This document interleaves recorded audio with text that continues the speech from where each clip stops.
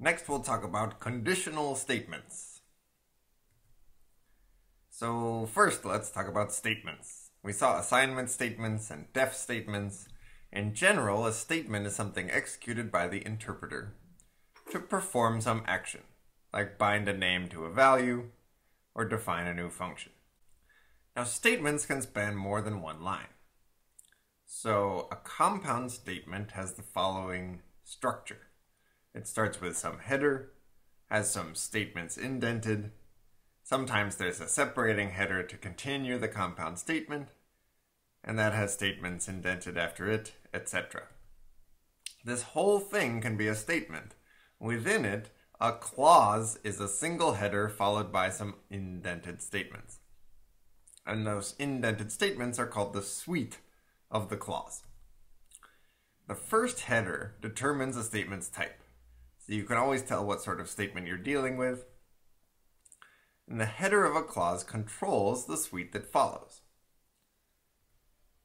Def statements, as we saw, are a type of compound statement, meaning they have a suite, which we call the body of the function being defined.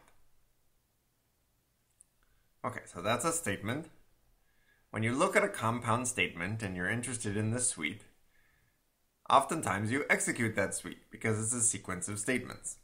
To execute a suite means to execute a sequence of statements in order, one after the other.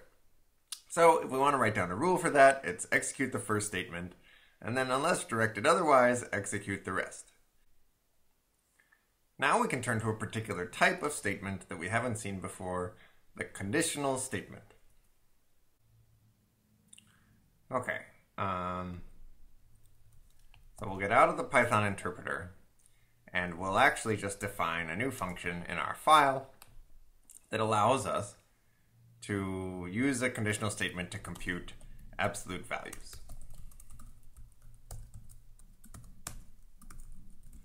Return the absolute value of x. And the way we're going to do that is we're going to look at whether x is smaller than, larger than, or equal to 0. So if x is less than 0, and the absolute value of x is negative x. Otherwise, we write elif, that's else if, an abbreviation for that. This means otherwise, if it's the case that x equals 0, then we'll return 0. And finally, if neither of those are true, that means x is greater than 0, we will return x itself. Okay, this is an absolute value function. We can load it by starting an interactive session and first reading in ex.py. So now we have absolute value defined. When I take the absolute value of negative 2, I get 2, or of 0, I get 0, or of 3, I get 3. Now, of course, there was a built-in abs function all along, but I just wanted to give you an example. Okay, let's understand how that works. So here's the code that I wrote. What is in the body of this function is one statement that includes three clauses, one, two, three, three headers, that's the first line of each clause, and three suites, each of which just includes a return statement. Okay, so there's an execution rule for conditional statements. It goes, Consider each clause in order. Evaluate the header's expression.